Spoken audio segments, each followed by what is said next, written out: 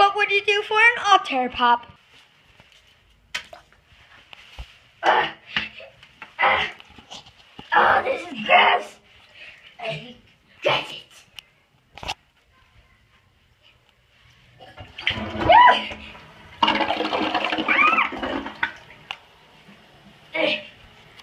I got it.